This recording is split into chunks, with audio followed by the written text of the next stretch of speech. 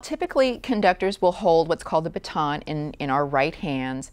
And um, the reason we use a baton is because, you know, sometimes with large orchestras, the visibility can be very difficult and they may not be able to see anything very specific. And so uh, it, the baton kind of just extends the reach of our hand gestures um, and, you know, prevents us from having to just wave our arms all over the place all the time and really getting incredibly exhausted.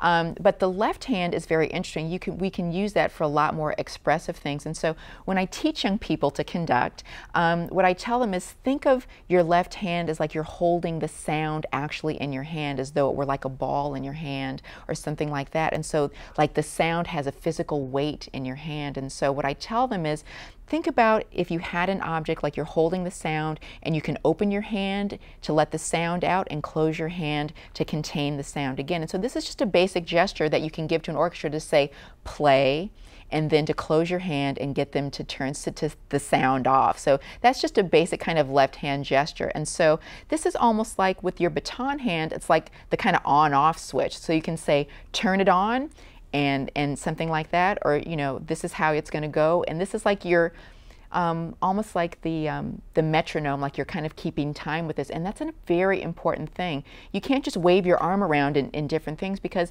you know, music occurs in time and you have to keep a steady beat. And so this can sometimes keep a steady beat if necessary conductors don't always just conduct the beat because it's very sometimes you want to be more advanced and do different things but sometimes you just have to keep a steady beat especially if the music is very complicated and the musicians you know they're they're looking at the music and you're just helping them kind of keep their place in very very complicated music. So this is kind of keeping the time and the beat and then this hand is doing all kinds of beautiful gestures that are more expressive. You can kind of throw the music you can kind of caress the music and so I really use the left hand to be very expressive.